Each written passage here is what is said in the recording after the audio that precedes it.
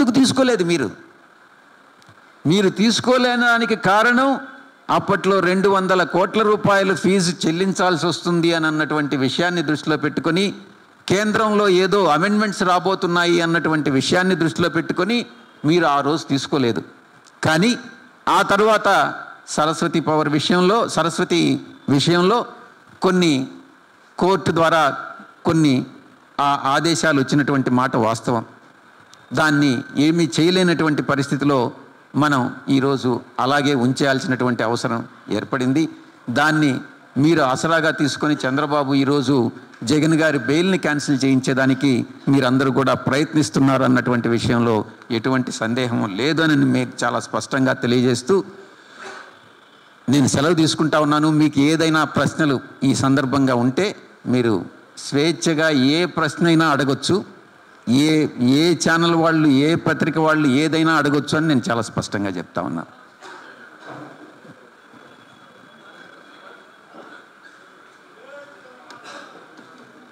ఆంజీ.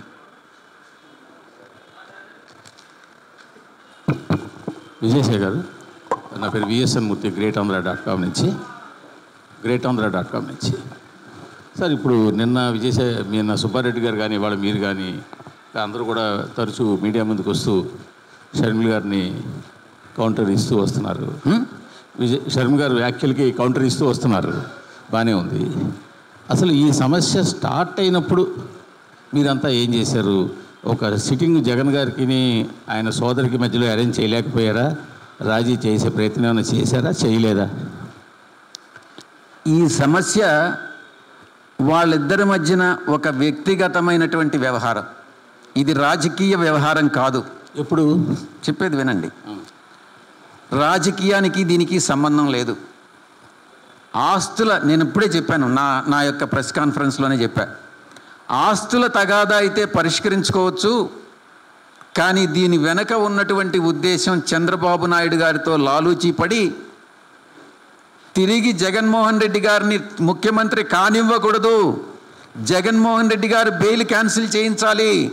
జగన్మోహన్ రెడ్డి గారిని ఎలాగైనా సరే ప్రజల్లో ఆయన ప్రతిష్టను దిగజార్చాలి అన్నటువంటి ఉద్దేశంతో చంద్రబాబు నాయుడు ఉంటే తన స్వలాభం కోసం తన లబ్ధి కోసం ఆ యొక్క లెటర్ని బయటపెట్టి తను పీసీసీ అధ్యక్షురాలిగా తన బాధ్యతలను నిర్వర్తించకుండా ప్రతిపక్షంగా తన బాధ్యతలను నిర్వర్తించకుండా చంద్రబాబు నాయుడుతో లాలూచీ పట్టం అన్నటువంటిది మీ అందరికీ కూడా తెలుసు. ఆ లెటర్ ఎలా బయట వచ్చింది ఎవరు బయట తీసుకొచ్చారు? ఆ లెటర్ బయట తీసుకొ చంద్రబాబుకి ఎలా వచ్చింది? దీన్ని తప్పకుండా షర్మిలమ్మ గారే ఈ యొక్క లెటర్ని చంద్రబాబు నాయుడికి ఇవ్వడం జరిగింది. ఆయన దాన్ని రాజకీయ ప్రయోజనాలకు వాడుకుంటున్నారు అన్నటువంటి విషయం చాలా స్పష్టంగా సార్, తెలుస్తా ఇప్పుడు ఉంది. మీరు చెప్తుంది ఇప్పుడు విషయం చెప్తున్నారు. నేను అడుగుతున్నది ఆవిడ తెలంగాణలో ముందు పార్టీ పెట్టారు. ఆ రోజుకి అన్నదమ్ముడితో గొడవ లేదు. ఆవిడ ఆంధ్రాలోకి వచ్చి రాలేదు. అప్పటికి కూడా అన్నదమ్ముడితోటే ఉన్నారు. అప్పుడే వచ్చే వార్తలు ఆవిడకి ఒక ఎంపీ సీట్ ఏదో అడుగుతున్నారు ఆవిడకి ఇవ్వట్లేదు అని చెప్పేసి. ఆ రోజునే మీరు కలుగు చేసుకుని ఉంటే మీరు కానీ సుబ్బారెడ్డి గారు కానీ కలుగు చేసుకుని ఉంటే లేదా జగన్ గారే అంటే మన సామెత ఉంది గోటితో పోయి గొడ్డల దాకా తీసుకున్నాను ఆ రోజే చేసి ఉంటే ఇవాళ ఈ పరిస్థితి వచ్చేది కాదు కదా? ఇప్పుడు మీరు చంద్రబాబుని తిట్టే పరిస్థితి వచ్చేది కాదు కదా? మీ పే- మీ పేరు? నా పేరు విఎస్ఎన్ మూర్తి అండి గ్రేట్ ఆంధ్ర. మూర్తి గారు ఇవన్నీ కూడా ఏదైతే చర్చలు జరిగాయో అవన్నీ కూడా రాజకీయ విన వినండి వినండి. ఇవన్నీ కూడా పబ్లిక్ ఇంట్రెస్ట్కి సంబంధించినటువంటివి కాదు. పూర్తిగా కుటుంబ వ్యవహారాలు. అది మూర్తి గారికి తెలియాల్సిన అవసరం లేదు రాధాకృష్ణ గారికి తెలియాల్సిన అవసరం లేదు చంద్రబాబు నాయుడుకి తెలియాల్సిన అవసరం లేదు. నేను ప్రెస్ మీట్లో నేను మీకే చెప్తా ఉన్నా? చాలా చర్చలు జరిగాయి. దానికి వై ఆ చర్చల వైఫల్యాలకి కారణాలు ఏంటనేది షర్మిలమ్మ గారికి తెలుసు. ఏమని అడగనండి ఏదైనా అడగనివ్వండి పర్వాలేదు. మీరు మీరు ఒకటో రెండో అడిగితే మిగతా వాళ్ళకి కూడా అవకాశం ఉంది మీరు అడిగారు కదా నేను జవాబు చెప్పాను. అసలు మీరు సూటి ఇందాక మీరు చెప్పారు ఆవిడ. చాలా స్పష్టంగా సూటిగా చెప్తా ఉన్నా. ఆ చర్చల గురించి మీకు తెలియదు.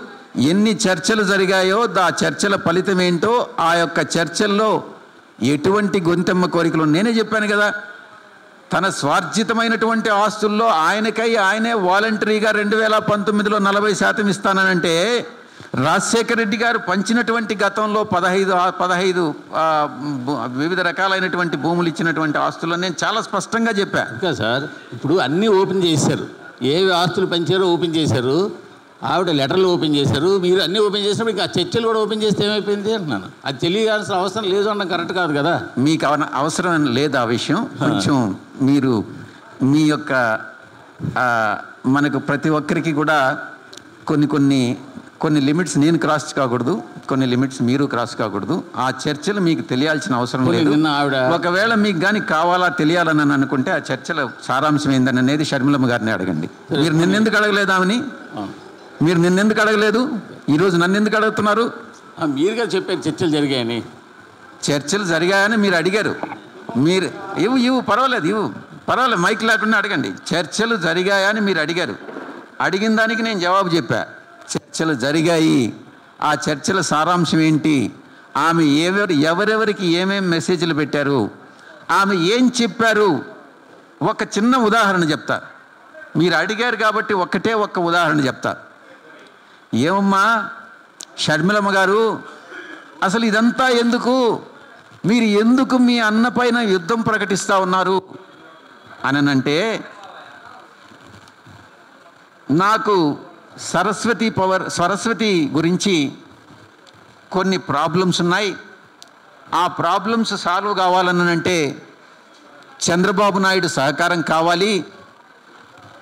చంద్రబాబు నాయుడు సహకారం కావాలని అంటే జగన్మోహన్ రెడ్డిగా జగన్మోహన్ జగన్మోహన్ రెడ్డి గారు జగన్మోహన్ రెడ్డి గారిని ఈ రకంగా చేస్తేనే ఇది సాధ్యమవుతుంది అన్నటువంటిది ఆమె ఇచ్చినటువంటి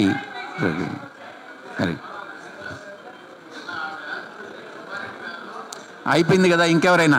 మన్నీ మీరే అడిగితే ఎట్టా? వేరే. సార్ సార్ ఒక క్వశ్చన్ సార్. ఇంకెవరైనా ఏదైనా. Sir sir.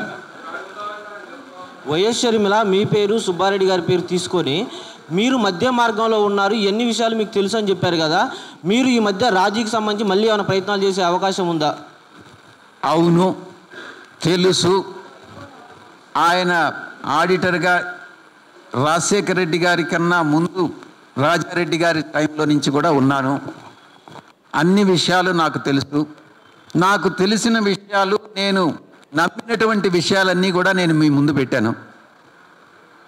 నేనేం అబద్ధాలు మీకు చెప్పలా. Satisfied next okay thank you thank you very much thank you